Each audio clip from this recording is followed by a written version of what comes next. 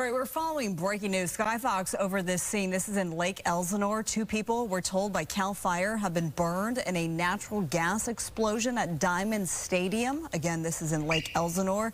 Their injuries are apparently moderate. You can see the response from emergency officials.